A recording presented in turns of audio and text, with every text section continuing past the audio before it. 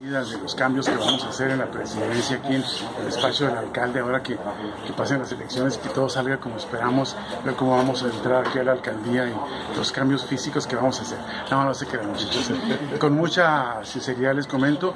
eh, hablamos con, con, Alejandro durante un rato es, es, es, el alcalde en funciones en este momento tenemos un aprecio personal y respeto por supuesto. Vamos a saludarlo comentarle pues que ha iniciado la campaña este es el segundo día de trabajo en la campaña rumbo la presidencia municipal,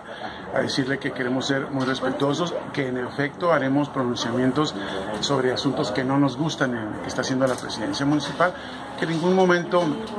son temas personales y que no están dirigidos a la persona de él en especial. Él está apenas en funciones desde hace unos días, eh, pero sí que tenemos que ser muy directos, muy francos, sinceros sobre las cosas que no están funcionando bien.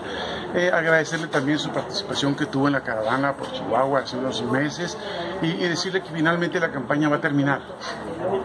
que la contienda debe de tener un, fin y debemos de seguir todos siendo gente comprometida con la ciudad principalmente. Ha sido muy amable, con nosotros nos ha recibido, nos ha comentado que somos el primer candidato que lo visita en, en la contienda, lo hacemos siempre con gusto, con respeto y, y, preparando el terreno para ver aquí cómo vamos a poner orden en la presidencia municipal para hacer lo que la gente espera que haga la presidencia municipal y que hoy sentimos que no lo está haciendo.